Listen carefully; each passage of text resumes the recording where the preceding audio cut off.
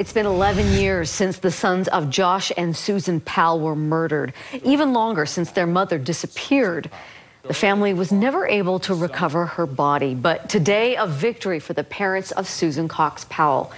Washington State Appeals Court has reinstated a $98 million verdict a jury awarded to the Coxes back in 2020. News Specialist Debbie Worthen talked with Chuck Cox today after the decision came down. And Debbie, what do you have to say?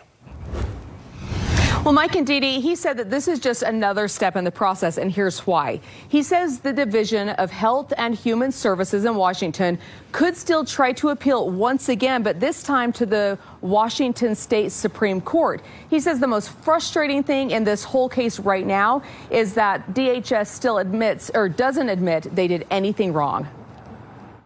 I'm glad they've uh, written a decision. Chuck Cox is relieved at the decision today to reinstate the $98.5 million settlement.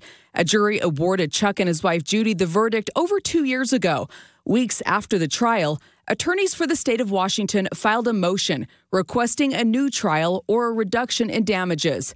Cox says the state has dragged out the process and has never admitted guilt. The state and the DSHS still refuse to admit that uh, they were negligent, that they were um, incompetent in what they were doing, and they were not following their own procedures. It's been 11 years since a caseworker took Josh Powell's sons, Braden and Charlie, to see their father for a supervised visit when Josh murdered his sons and killed himself. Those deaths came three years after Powell's wife went missing. It's widely believed Josh killed her too. Her body has never been found.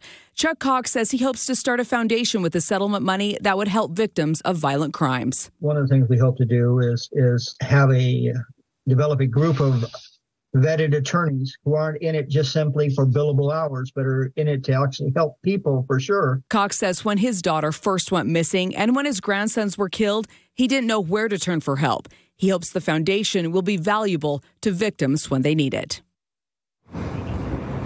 And Cox says that foundation, like the one he wants to start, would have the potential to give those victims of violent crimes or in tough custody battles a roadmap on where to go next with trusted resources.